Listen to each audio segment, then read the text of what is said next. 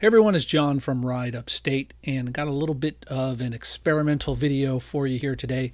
We'll see how this goes. I don't know how this is going to go. Little background. I am thinking about doing e-bike or e-scooter deliveries in the summer on DoorDash when the tourists are in town. That way I'm not putting miles on my car and a lot of those deliveries are downtown anyway where it's very difficult to park and they can be in hotels and apartment buildings. So it would be a lot easier to do the deliveries on an e bike or an e scooter because I don't have to worry about parking or anything like that. I want to talk a little bit about why I would want to do it this way uh, as opposed to just using my car. Now, I already talked about the parking situation, but the other thing you know, you might say, well, just get an e bike or an e scooter and do the deliveries. Well, the problem is that if you're in a car, they know that you have a much longer range than you do if you have an e scooter or an e bike. And they also know that you have more storage capacity in your vehicle. So you're going to get any and all orders that are available out there. If you have designated that you're on an e bike or an e scooter, you will get smaller, shorter orders. Now, I know what you're thinking.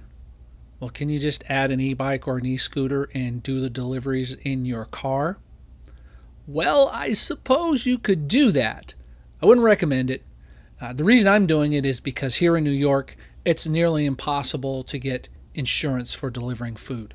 And as you know, I've talked about this before. I'm not taking the chance for DoorDash to deliver food to some dude or some dudette who's not going to tip me and risk damaging my vehicle. But I do it on an e bike or an e scooter. So let's take a look at the screen here and we'll go from there. As you can see on the screen here, there's a number of different dash types that you can have on your account. I'm interested in the e bike one not the standard bicycle one, but the e-bike one. And it says in order to add a different dash type, you have to contact support. So I'm going to go over here. I'm going to tap contact dasher support and it has an option to chat. So let's try chatting first and see where we get. And I guess this is about my account. So we'll select account. And subcategory add a new vehicle and start chatting. An agent is on the way. So we're just waiting for an agent here to get in contact with me and then we'll begin this process of hopefully adding a different dash type. Now here's the other thing too that we need to think about as well. I don't even know if e bike delivery is an option in my market. So that's another thing that we're going to find out. Does anyone else ever have this experience with chat? I may have to call the number. I don't know if I'll get through any quicker. Let's call the number, and that way I have both options available to me and whichever one gets to me first then we'll go with that. Okay, so I'm dialing the number 855 431 0459. I'll put on speaker here. I guess maybe I shouldn't have made this call at uh, 12:30. They must be busy with the lunchtime rush. Oh, there's $2 peak pay tonight in my town. Not going to do it. Not going to do it. Oh, here we go. We got we got Cecile here. All right, Cecile. I'll give you a few seconds to pull up my account info. I'm glad you're here to help me. Oh my gosh, all these scripted garbage. Let's see. I would like to add I better spell that. I would like to add an e-bike as a dash type. And she's going to need a minute or two to check. I was going to call support, but I forgot that way back here in the corner of my house, I don't get any cell phone reception. So Yeah, not fun. Here we go. Let's see. Come on, Cecile. Help me out here. E bike is not available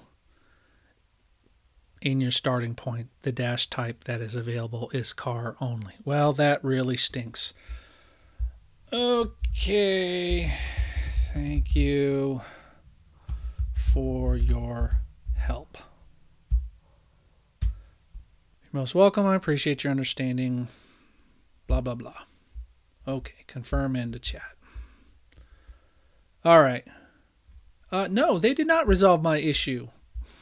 Let's do this. They did not resolve my issue. Uh, I'm kind of neutral on my support experience. Well, I mean, I'm I mean, I'm satisfied with the support experience, but you know, what was the main reason for your rating uh, my support agent? What can we do better next time? Offer optional dash types in my market. I don't know if anyone's going to see this, but you may as well give it a try, right? All right, so I tried to add a da- another dash type to my account. It's not available. We're only allowed to deliver by car in this market. That's unfortunate because I really would like to be able to use an e bike in the summer. I mean, I suppose I could just get one anyway and reject orders that are too large or too far away. That's just something that I'll have to think about and consider in the summer. Until next time, my name is John from Ride Upstate, reminding you that just because you're in a small market doesn't mean you need to settle for small profits. Bye.